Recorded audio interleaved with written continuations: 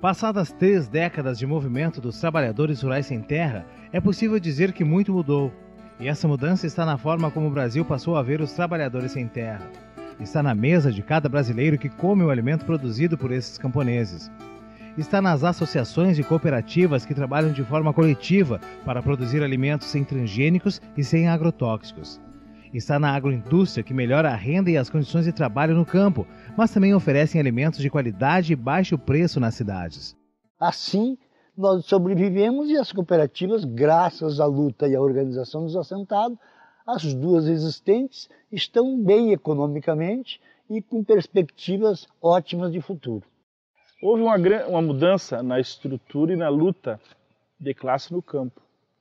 Portanto, aquela luta é, em que o MST, o Sem Terra faziam contra o latifúndio improdutivo, e, e, essa luta ela produzia a construção de assentamentos numa perspectiva de democratizar a terra, ela foi importante e é importante na construção da história.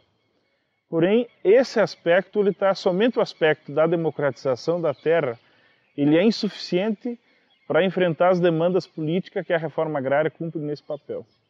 Porque hoje, além de democratizar a terra, é preciso enfrentar numa perspectiva de discussão de modelo de produção.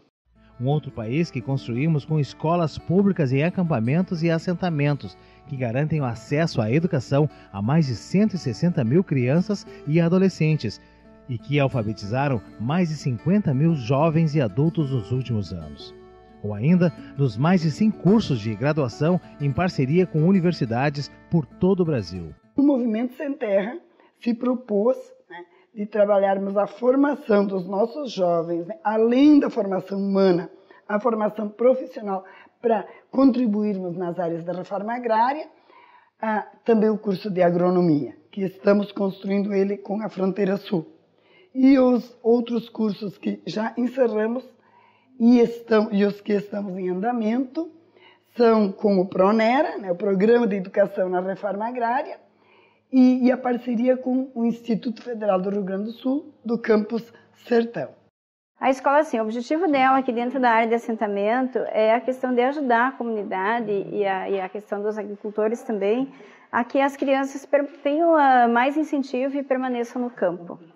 Principalmente a questão da juventude a juventude é, tem no educar como um espaço de, de encontro e, e para eles poderem se articular para as lutas deles. Né?